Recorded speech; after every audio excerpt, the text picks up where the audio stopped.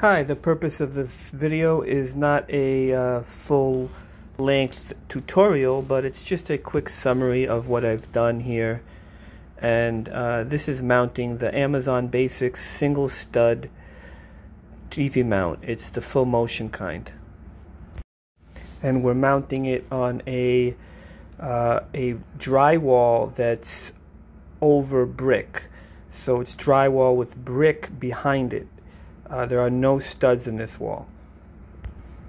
And it's not hollow behind the drywall, so you can't use toggle bolts because because for toggle bolts there needs to be a hollow space at least an inch deep behind the drywall. And in this case, there's no hollow space because there's brick. I've already drilled the holes for the first two anchors to go in. So now I'm just getting ready to install the anchors and screws. Uh, the screws that actually the, the screws that came with the mount are actually going to be used this time because of the size and length um, are actually perfect for brick. I always bring a big case full of an assortment of screws and anchors to each uh, TV mounting job because the screws provided in the with the mount um, are sometimes good, but in many cases do not do not work for all wall types in all situations. But in this case, I was able to use the screws that came with the mount just checking the level and it is level.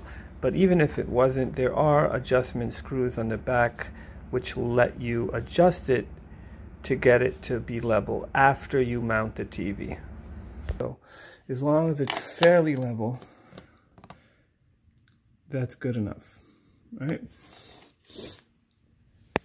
So the mount has one two three holes uh, the I did the first two, top and bottom first. I wanted to make sure it's level because if you do the middle screw uh, first, it will be hard to level everything. So give it a tug just like that without adding the third screw. Now, now for the third screw, um, what I'm going to do is I'm going to pre-drill this with a very skinny drill bit. Um, and then I'm going to try to just screw this straight into the wall without an anchor to see how that grabs. Because many times pre-drilling old plaster and brick uh, will give it a significant, will give it a sufficient grip uh, on this type of long um, coarse threaded bolt.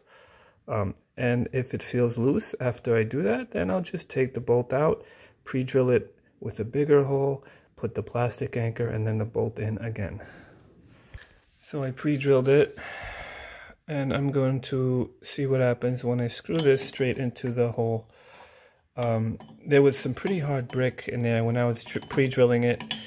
Uh, the drill bit was not going in as smoothly as it would for uh, a softer material, of course. So um, I'm to see what happens if I, I'm to see what happens.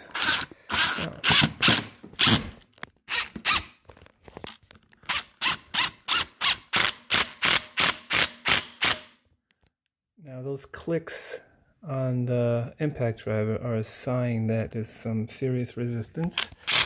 It's not turning anymore. Um, that means it's in there being gripped pretty well. So the anchor for that third hole wasn't even necessary. I probably could have gotten away with all three holes and no anchors. Um, but it's okay. And the next time I'll try that.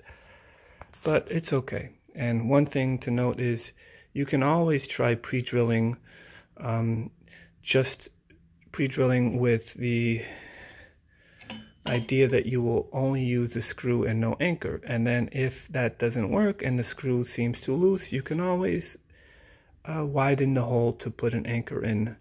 Um, so you can, you know, move up a size in diameter hole, but you can't go down. So uh, it would be a good idea to start with a small pre-drill hole uh, just for the bolt alone. Um, in this case, I'm pulling down on this, putting a lot of pressure, um, and it's very strong. Okay, there's no wiggle, no movement, um, so we're good to go.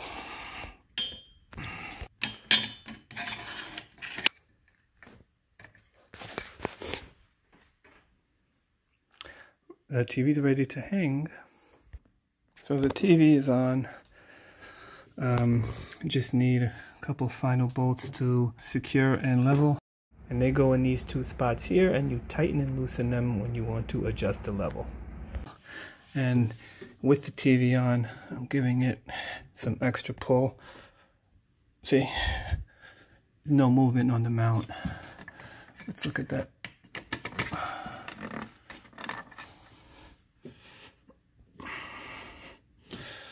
It's nice and stiff. Okay, that's it.